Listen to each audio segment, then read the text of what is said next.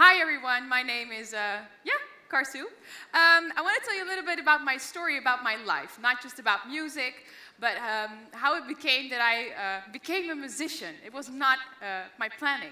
So what happens is, um, I, my parents are born in Turkey in the village named Karsu.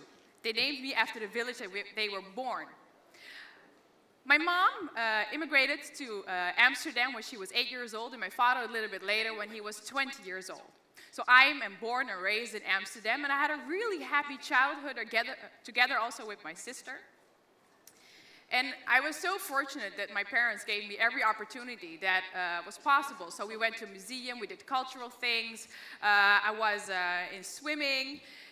But when I was seven years old, I watched television, I saw a guy with long hair playing the piano. That's when, when I said, all right, this is what I want. I want to play the piano. My mom and dad uh, had saved up 5,000 uh, euros to buy themselves a car because they needed it to bring me and my sister to school. So I was so happy that with that money that they saved, they bought me my first piano. One day I bought them a car, I promise. So what happened is, is I went to my piano lessons and everything went so well, is that um, I also worked in my father's restaurant. My father had a Turkish restaurant, very fancy, in Amsterdam, and I was there a waitress. I loved my job. And there was also a piano in the restaurant. So some customers would then ask me, would you like to play piano? I said, no, I'm, I'm just a waitress. And the next day they would ask me again, other customers, and I said, all right, I will start playing the piano. So what happened was is that, um, yeah, a lot of uh, uh, customers would come and visit the restaurant now, not only to eat the kebab, but also to listen to my music. I also went every year, to, uh, every year to New York to study, also to teach, and to give concerts there. And I was starting to uh, also compose my own music. And when I came back to Amsterdam, a lot of people were wondering who's this girl from this restaurant playing in New York? A lot of people came only to listen sometimes. So what we had to do is we had to give real concerts to just, you know, let the people come and then go and do the next one.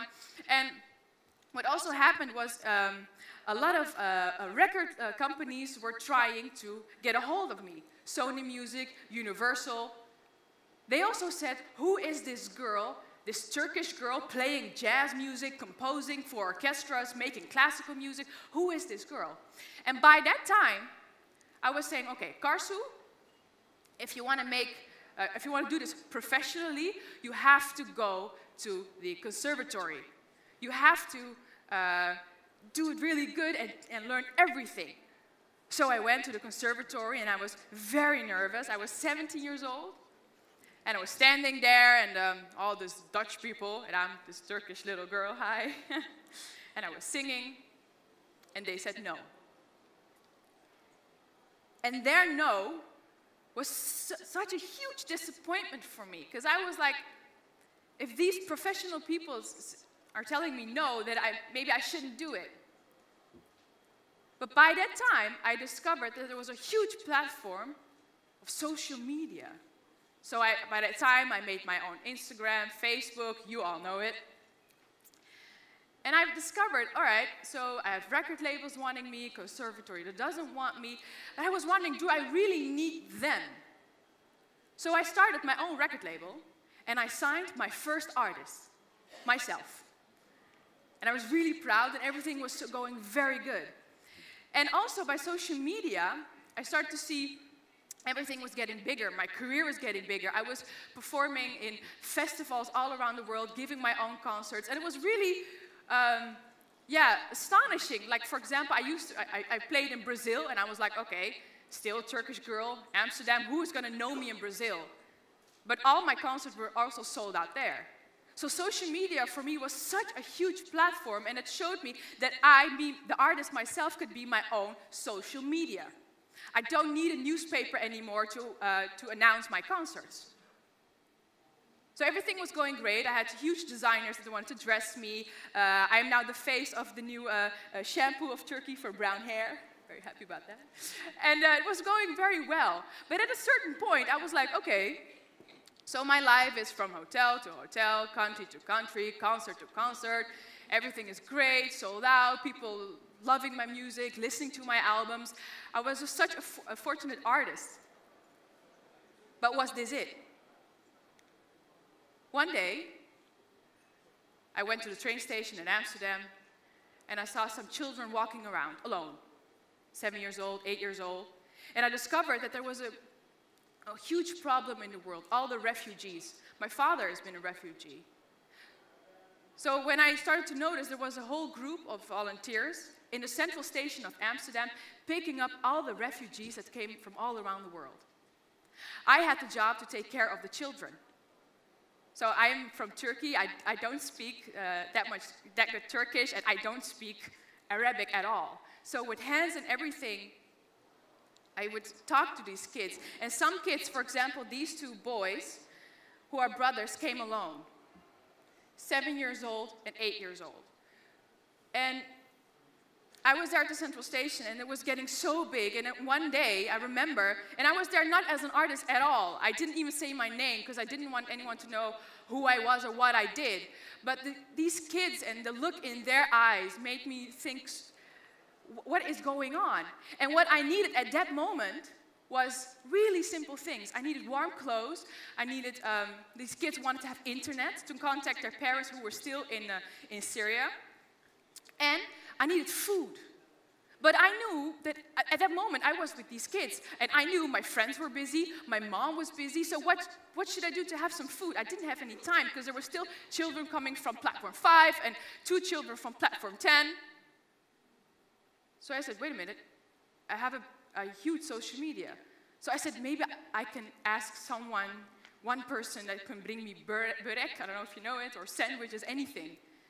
What happened in, in one and a half hours, I had so many of my fans bringing me food and drinks, clothes, because it was winter, it was so cold. And I thought of myself, oh my God, I'm a social media influencer now. but it turned out so differently. And I thought, okay, I, I get so much fulfilling to, to, to help these kids and I've achieved so much in life, and I'm so grateful at this age that I can do what I love and that I found my talent because my parents gave me every opportunity they could.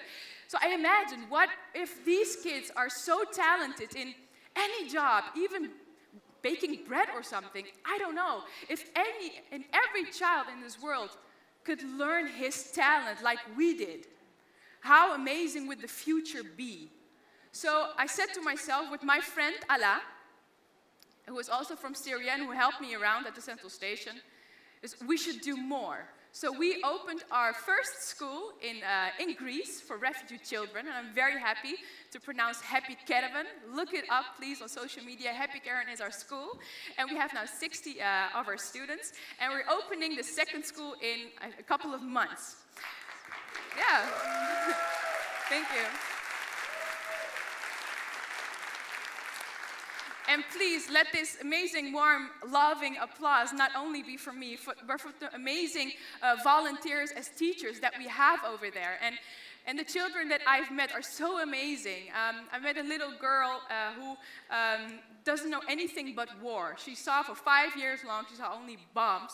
But when she came to us, she learned English in seven months and she speaks it even better than I do. So I'm so proud. And on and on, um, as I um, keep on going with my career, I started to think, what if we influencers would give 1% or maybe, maybe half of our time and our, our posts maybe to something good. Like this is, this is my passion. And maybe you have something else with animals, animals or with older people that are alone.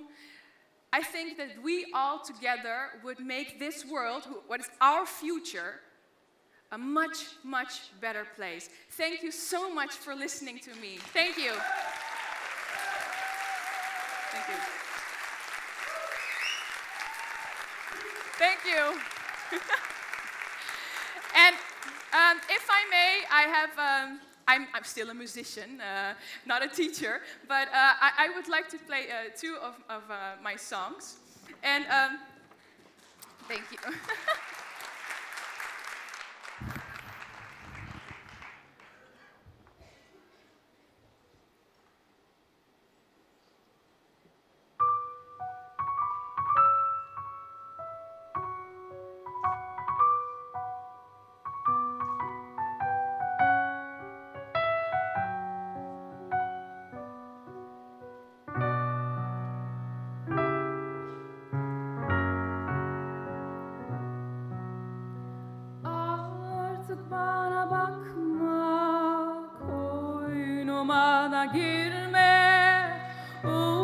So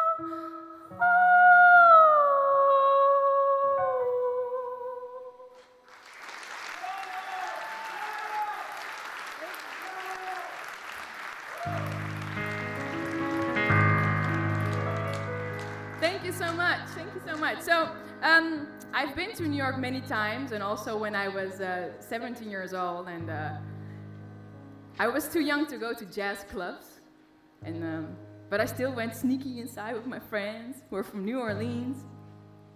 And I learned jazz over there and fell in love with the blues as well. And one day I was sitting in the Blue Note Jazz Club, and my friends were sitting and they were saying, Karsu. I was like, yeah. Would you play as a blues?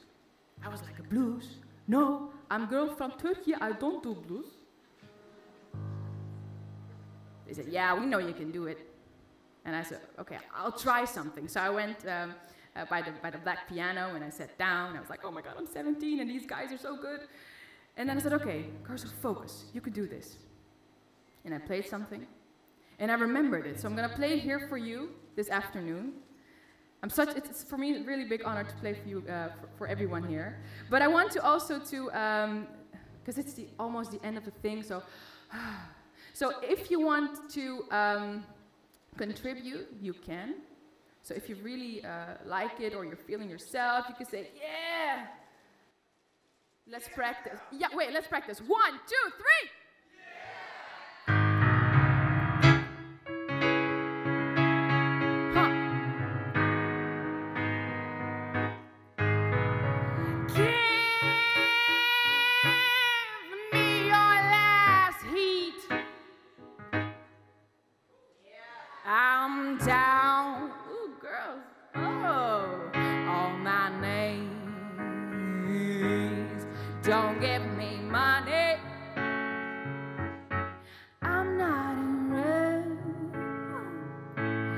Johnny of my hips.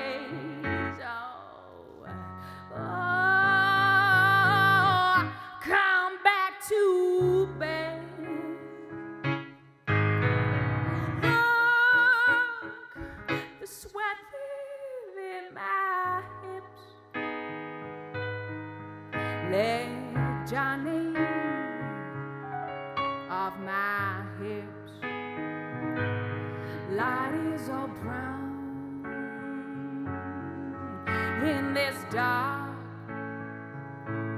I give you my last fire, fire, yeah, for my last cigar.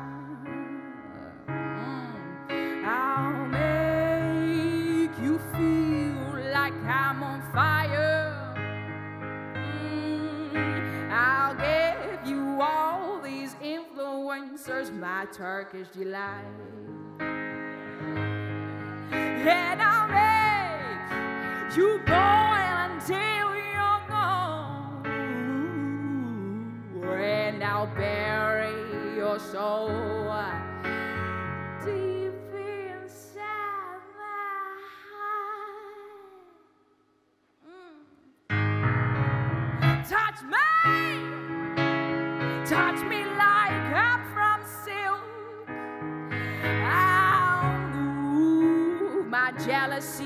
to the side. Break it down, break it down, break it down to the floor. Bring it up, bring it up, bring it up until